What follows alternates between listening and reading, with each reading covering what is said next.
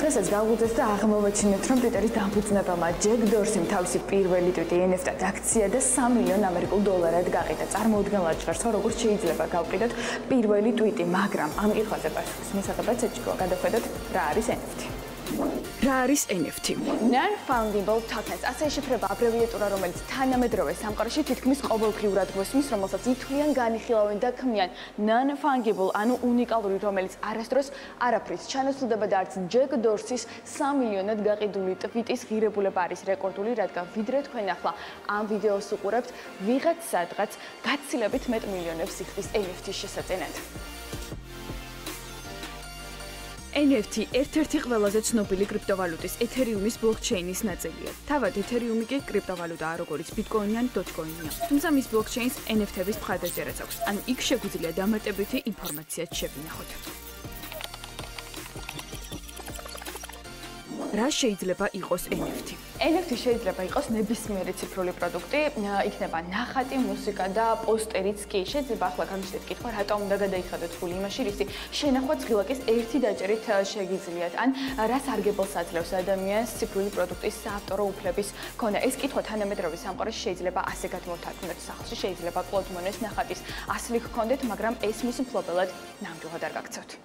და რა აზრი აქვს ამ ყველაფერს?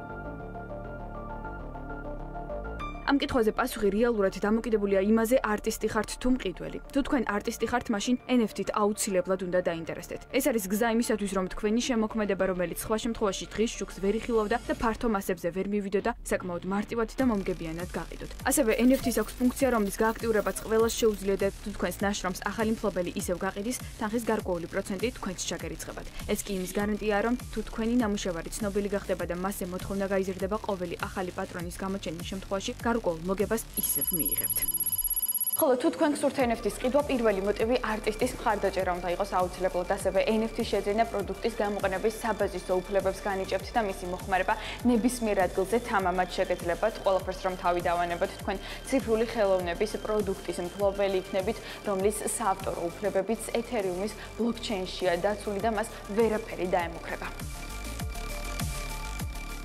ყველაფერი კი შეიძლება ითქვას 2017 წლის ბოლოს კრიპტოკიცით დაიწყო. მაშინ კანადური კომპანიის Dapper Labs მიერ შექმნილი მულტფილმის პერსონაჟების მსგავსი კატების როგორც საკოლექციო მასალების დებიუტი შედგა. თითოეული გამოსახულება ციფრების უნიკალურ წყობასთან, NFT-სთან იყო დაკავშირებული. მათი ყიდვა კი Ethereum blockchain პლატფორმაზე შეგეძლოთ, რაც კონკრეტული კატის მფლობელის დამადასტურებელი ერთგვარი დოკუმენტი იყო.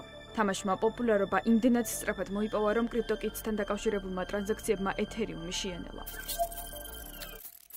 ამავე წელს, როცა NFT სულ ახალი გამოჩენილი იყო ბაზარზე, დეველოპერულმა სტუდიამ Lavra Lab-მა შექმნა სერია CryptoPunk-ი, რომელიც ერთ-ერთი პირველი NFT პროექტია და რომელიც თავდაპირველად უფასო იყო. მაგრამ რამდენიმე თვის შემდეგ დიდი შემოსავლები მოიტანა. ერთ-ერთი მათგანი კომპანია Visa-მაც კი შეიძინა როგორც ისტორიული კომერციული არტეფაქტების კოლექციის ნაწილი. არის თუ არა თითოეული NFT უნიკალური? თეორიულად კი ყველა ტოკენი, რომელიც Ethereum-ის ბლოკჩეინში ინახება, უნიკალურია, თუმცა ეს ისე არ უნდა აღიქოთ, თითქოს ამ ციფრული პროექტის ასლს ვერ არის შექმნის. შეიძლება Van Gogh-ის ნახატის ერთი ნამდვილი ვერსია არსებობდეს, თუმცა ციფრულ ხელოვნებაში ერთი ნამუშევრის ათასობით და ათი-ათასობით ასლი შეიძლება ვიპოვოთ. ამ შემთხვევაში ერთი მხოლოდ საავტორო უფლებაა. თუ ყიდულზე ვსაუბრობთ, ეს ისევე მუშაობს როგორც ჩვეულებრივი ტილოზე შესრულებული ნახატის შემთხვევაში, ანუ ყიდულობთ ნამუშევარს და მოგწონთ ორი რამ, ის რომ ის მფლობელი ხართ და რომ ის ღირებულება შეიძლება გაიზარდოს. როგორია NFT-ს შექმნის ტექნიკური პროცესი? პირველ რიგში იწერთ ციფრულ საფულეს. შეხვალთ ერთ-ერთ ყველაზე ხელმისაწვდომ პლატფორმაზე და გაივლით რეგისტრაციას. როდესაც ყველაფერი მზად იქნება, შექმნით კოლექციას თავისი დასახელებით და დეტალებით. შემდეგ კი ატვირთავთ და ნამუშევარი უკვე NFT-ია. როგორი ფილტრება რომელი ნამუშევარია ნამდვილად ღირებული და რომელი არა ღირებულება დგინდება 4 მნიშვნელოვანი ელემენტით. პირველი ეს არის ბრუნვა ანუ ფინანსური სარგებელი მეორე ნამუშევრის ხარისხი მესამე უნიკალურობა ანუ რას გვაძლევს ამ კონკრეტული NFT-ის შეძენა და მეოთხე სამომავლო დანიშნულება. რამდენად დაცულია ეს ყველაფერი? ამაზე მეტად დაცული არც კი ვიცი რა არის. ბლოკჩეინ ტექნოლოგიის მთავარი არსი ის არის რომ დეცენტრალიზებული არავის ხელში არ არის და მისი გატეხვა ან მასზე რაიმე ტიპის ინფორმაციის მოპარვა ფაქტობრივად შეუძლებელია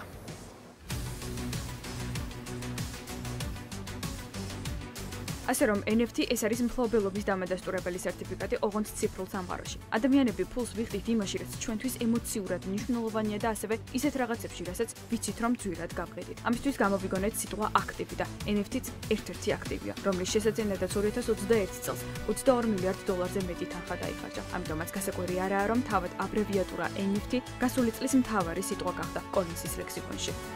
თუმცა ეს მხოლოდ დასაწყისია და მისი მთავარი ისტორიის წერა ახლა იწყება.